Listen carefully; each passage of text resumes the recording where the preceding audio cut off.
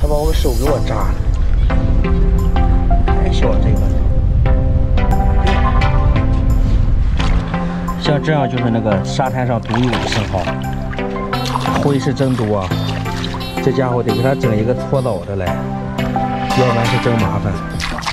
这还长了个连体，这地方一个，这地方还有一个。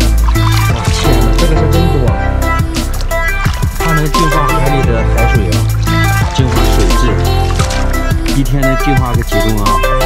我回家放鱼缸里边试试吧。而且肉也特别大，这个季节。看着吧，这也是一个猫眼螺。哇，啊，什么情况？哎，还漏水哦！哇塞了，这应该是被冻僵了。刚才那一个在沙里边，它冻不结实。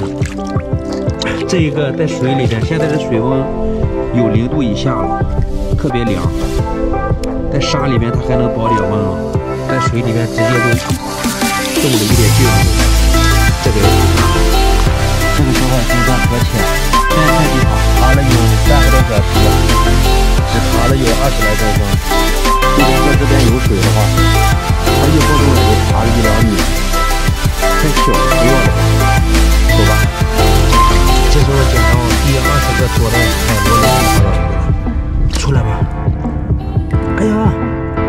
不舍得，太不舍得。太不舍得出来这个，我天哪！哎呦，我天哪，它碰这个墨汁怎么这么长啊？看，都拉丝了都。来吧，别跑了。像这样的迷你八爪鱼，回家做个蛋炒饭特别好吃。吃的时候一定要把它的牙齿拿出来，这个黑黑的就是它的牙齿，用手一抠就下来。行，这就不表演了，回家起锅烧油，把你的窝也带上。走了，这应该还活。要是死的话，我都不打算要它。这叫偏口鱼，是海上隐藏的高手。鱼类它是最会藏的，过沙本领也特别强悍。